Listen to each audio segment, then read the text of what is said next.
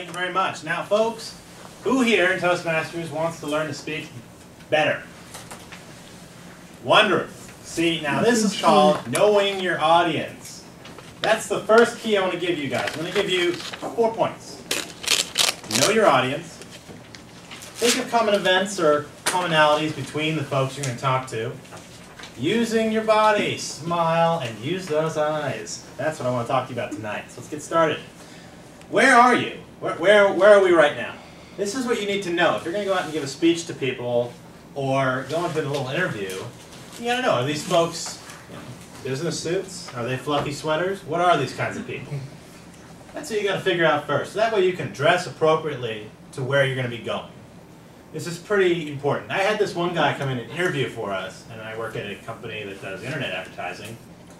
He came in this three-piece button-down suit, fedora hat, pinstripe pants, and the uh, wingtips.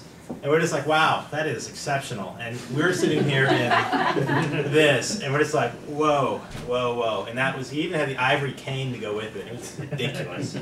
Maybe you don't want to do that, because first impressions, folks, let's put it, put it to you, they count. In San Francisco. So know your audience and dress appropriately. And who's there? Am I talking to, you know, the guy who owns the company? The dude that does the finance? I mean, who am I talking to? know exactly the persons you're talking to so you can relate to them when you're trying to give a speech. Even if it's just for an interview, make sure you know if you're going to be talking to a partner of a firm, understand the cases that firm may have. Do a little background test. This way, when you go in there, you have talking points, which is a huge thing for management. They love talking points. That way they can feel better about whatever they want to say. So think about what they would possibly talk about and make it happen. Because then you can talk to anybody in that room. Because guess what? You've done so much homework on those folks, it doesn't matter. And also, let's move to the second point, common events. Everybody here who watched the Super Bowl or heard of the Super Bowl or understands what Super Bowl is, raise your hand. All right. That would possibly be one of those things you might want to say, hey, Steelers or Cardinals, right? Because more than likely, if you're getting an American speaking to you, they'll be interested to go, oh yeah, screw, screw the Steelers. That's what they'll be really irritated by. And then they'll talk about the Cardinals. Gives you a couple minutes to build rapport. Then they don't even remember what they were going to ask you in the first place. And then they just like you because you know football. Think of common events or common things.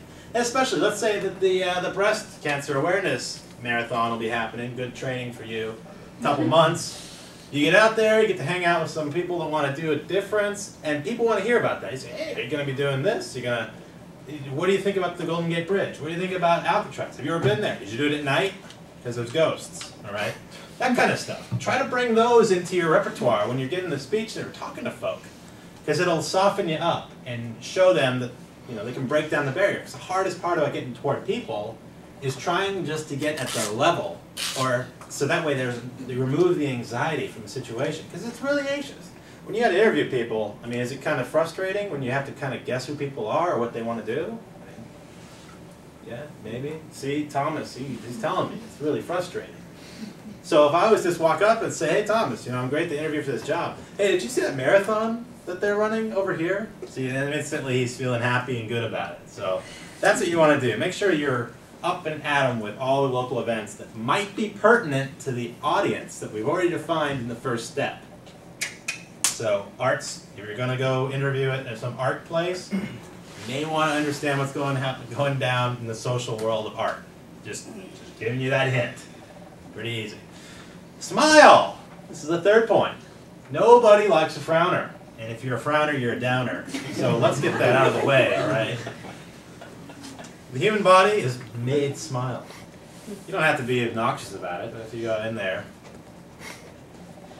frowny face, indifferent, people are going to kind of wonder, wow, do I smell? I mean, do, do, do I have something horrible written on my wall somewhere? I mean, what's the deal? What's this guy's problem?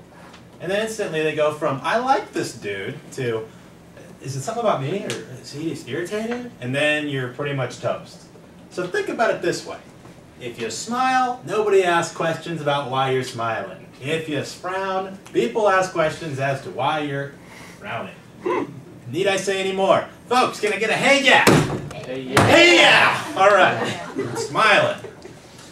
Now use your eyes. This one is very important. Americans love looking into people's eyes because you can tell more from a person by what goes on behind their eyes and what they say out of their mouth. And this is also a little common thing to always remember is the following. Mob hitmen never look you in the eye before they kill you. Because they say you can see the soul. Don't do that stuff. Deborah, Jersey girl, is that true? I've never bumped anybody up. Okay, well, you see, that's being modest. Jersey people always do that, or they dip you in chemicals. So let's just get this straight. Look at people's eyes. If they're looking down in the bottom left, when they, when, if you're talking to somebody, like I'm talking to Ricky, and I ask him a question, if he starts doing bottom right, looking down, he's lying immediately, right? If his pupils start to get smaller, his brain doesn't know what I just said. I'm serious. This is what happens. So your your body will either do one of two things. You'll either be so adrenalated that the pupae in your eye will, will expand to the point where now you can see almost no color in their eye, which in case you know they're extremely nervous. And this is a good time to either press them for more or to run away, depending on which side of the table you're on. But in his case, if you're looking down to the left, watch out, because that guy must is, is really selling snake oil to you. And no one wants to have that kind of tall tale in their interview. So just make sure you're conscious of these things. Also, if you're trying to interview with folks that aren't from the United States, you may want to make sure that you're understanding their cultural background in regards to how the eyes are used. This one will mess you up because here you're going to be interviewing with a plethora of various nationalities and cultures and societies and religions. So just be conscious of, oh, this person doesn't like being looked in the eyes a lot because mostly, it's like in my case, I got a girlfriend, she's Japanese her thing is she doesn't really like maintaining eye contact for a real long time with people she doesn't know. So I have to continuously remind people, you know, just I think personally, dude, she's just trying to be courteous to you. you know, they don't understand that thing. So to summate, to get this in a summation, everyone wants to learn to speak to anybody, and I gave you the four points. We're going to go talk about your audience. Know what the common events are happening that pertain to that audience, and then understand you're going to have to smile to make sure they know you're not frowning and then keep your eyes on the prize. Thank you very much, Mr. Toastmaster.